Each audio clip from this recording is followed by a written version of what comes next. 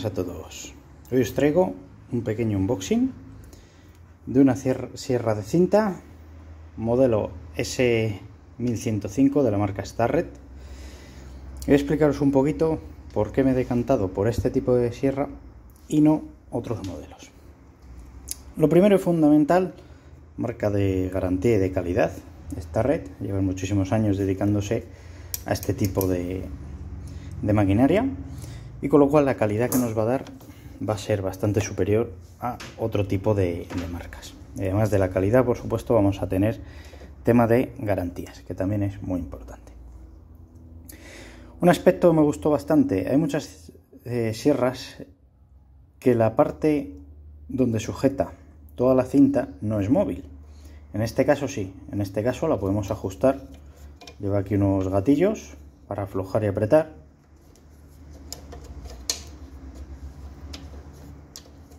que lo que nos va a servir es para mantener la rectitud de la cinta. Y esto al final se va a traducir, por supuesto, en un mejor acabado en el corte. ¿Qué significa? Que podremos meter máximo hasta 105 milímetros, pero esta parte de aquí que es móvil la vamos a poder ajustar al ancho de nuestro tubo o de nuestra varilla o lo que queramos cortar. Esto va a venir bien porque la cinta, la sierra no va a flexionar, no va a tambalear y con lo cual siempre vamos a tener un corte completamente recto. Y esto es algo muy, muy, muy importante. Por supuesto, tenemos opción a 45 grados, incluso a menos grados. Aquí, por ejemplo, vemos bien todo el ángulo de corte, los grados, incidencia. Aquí vemos que viene marcado. Con lo cual, tendremos aquí a cero es decir, completamente un corte a 90 grados y aquí uno completamente a 45. Por supuesto, entre medias también se podrá cortar. Más cositas eh, que tenemos por aquí. Bien, la sierra que utiliza esta máquina es de 1330 por 13 de altura y es de 0,65 el espesor.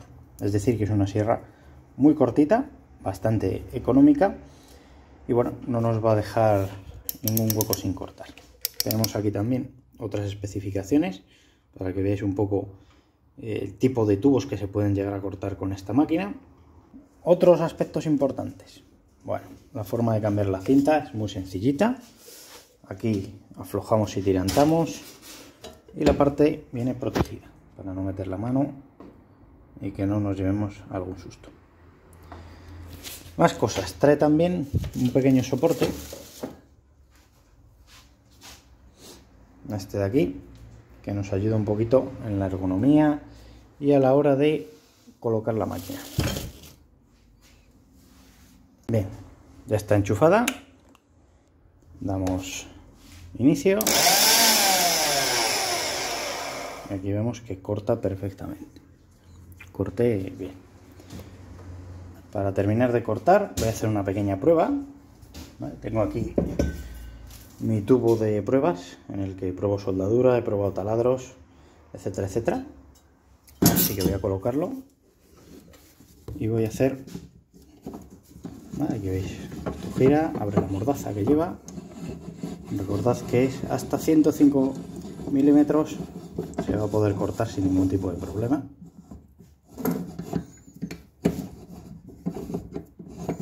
Esto ya sabéis que de vez en cuando hay que darle un poquito de grasa para que todo funcione perfectamente, no tengamos problemas, que es bastante importante.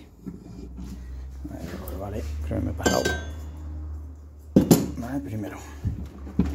Lleva aquí seguridad, levantamos, como veis, levanta bastante, ¿vale? Es decir, que problema de altura aquí a priori no tendríamos que tener, una vez que esto quede fijado, con la palanca, decimos 90 grados.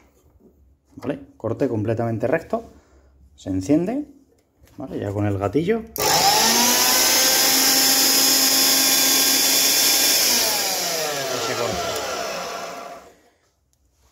Manipulamos con la máquina apagada. Como comentaba, levanto vamos a hacer primero un corte recto, dentro de las posibilidades que nos va a dar, porque querría yo aprovechar bien el tubo de pruebas. Colocada, ¿vale? ¿Qué podemos hacer aquí? Podemos comparar con un nivel para ver que no haya problemas, para saber que el corte va a quedar bastante bien. Aquí el problema es que además está soldado, entonces, bueno, va a ser un poquito relativa la rectitud, ¿vale? Y simplemente ya se aprieta bien con la mordaza. Hay que tener cuidado porque esta mordaza tiene muchísima fuerza, ¿vale? Y... veis que ahí va cediendo. Ahí ha cortado alguna soldadura seguramente, de las que hay por este lateral. Pero bueno, importante que quede fijo y que no se mueva. Ahora encendemos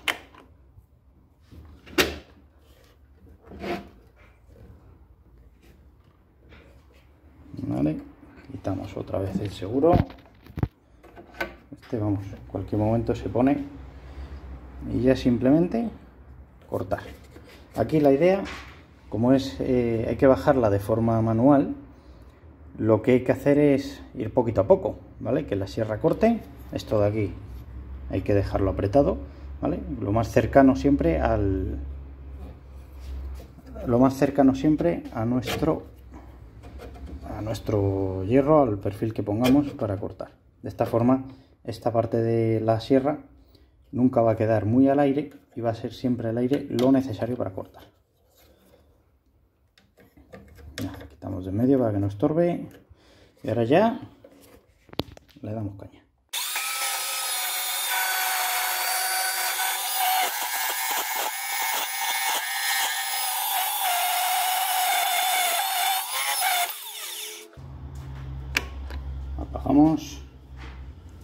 Levantamos máquina soltamos la mordaza.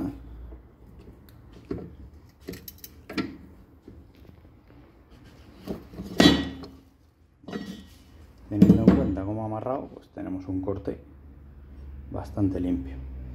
No queda muy recto pero yo creo que es más culpa de no haber apoyado bien. Vamos a hacer ahora una prueba a 45 grados tengo yo bastante interés ver cómo corta esto a 45 graditos. este es un tubo de 40 por 40 que tengáis en cuenta.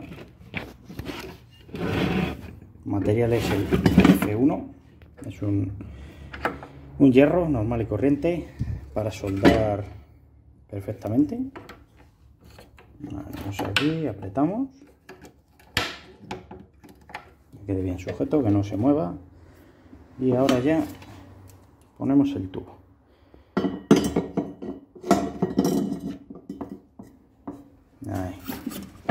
Vamos a apretar bien.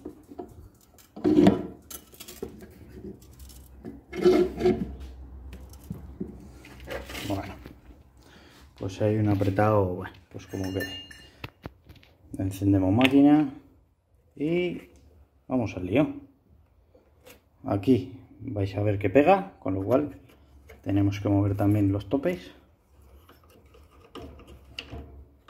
Tanto el de allí este no haría tanta falta pero este sí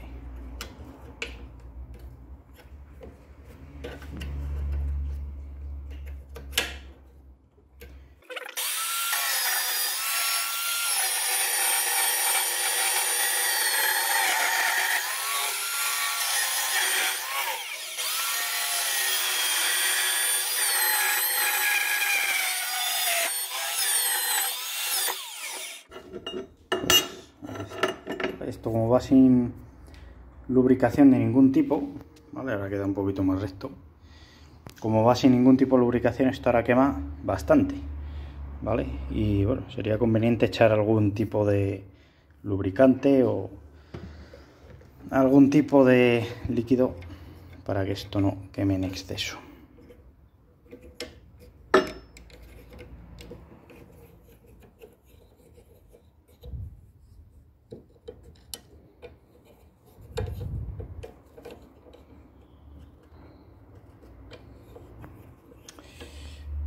Pues poquito más. Este es el unboxing. es una sierra de cinta que recomiendo para dar unos cortes bastante precisos y necesarios. Un pequeño consejito. Como veis, la cinta se puede doblar con muchísima facilidad. Para conseguir un corte completamente recto, completamente paralelo, tenemos que dejar esta guía lo más paralela y lo más pegada a esta parte. Esta es la que nos da la rectitud de la cinta. ¿Qué más se puede hacer? Si vemos que está un pelín suelta, se puede apretar aquí. ¿Vale? Apretando vamos a conseguir que quede bastante más recta, sin pasarnos porque se puede llegar a partir. Y ahora ya sí que podemos dar un corte completamente recto y no se nos va a mover la cinta de sierra.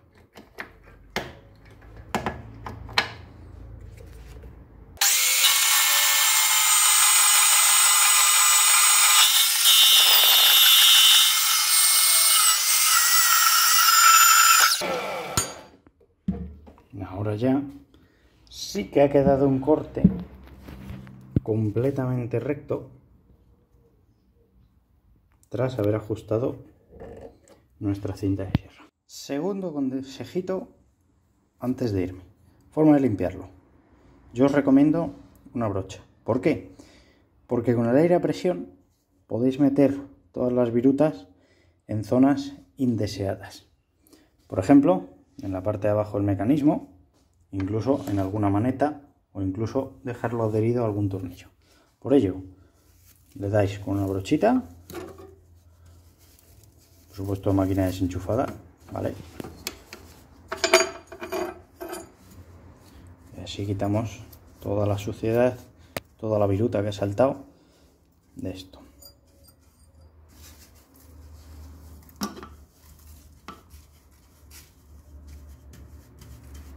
Eso es. ¿Vale? Perfecto. Pues aquí ya lo tenéis.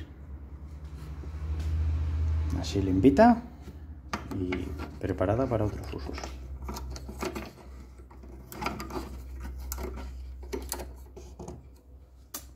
Bueno, ahora sí que sí. Espero que os haya gustado y hasta la próxima.